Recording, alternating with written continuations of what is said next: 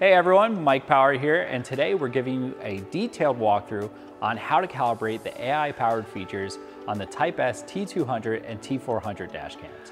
First, make sure your dashcam is centered on the windshield. This positioning is key for optimal performance. If you see a red bar over the GPS icon, it means the GPS is still connecting. Just start driving and the bar should disappear once the signal is active. For first-time use, the T400 and T200 dashcams automatically enter calibration mode after setup. This process can take up to 15 minutes, but it calibrates faster if you're driving on a flat road with a clear view. During calibration, the dashcam will continue to adjust to your environment. Once it's ready, you'll see the F and R icons appear on the screen, indicating proper calibration. Each time you turn on the dashcam afterwards, it will continue to fine-tune itself slightly, making the calibration even more accurate as you keep using it.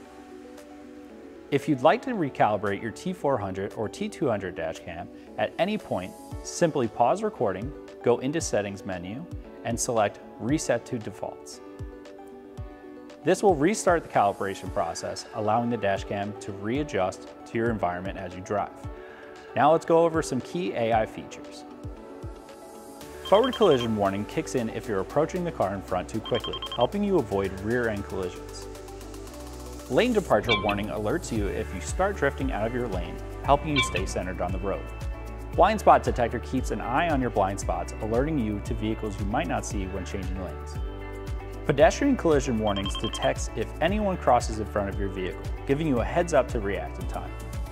Stop and go reminder is there to alert you when the car in front of you moves but you haven't keeping you aware in traffic. Rear collision warning alerts you if a vehicle behind you is approaching too quickly, giving you time to stay aware and ready to respond. Just drive normally, and the T400 and T200 will handle the calibration for you, ensuring all the AI features are ready to go. Enjoy safer and more intuitive driving with your dash dashcams.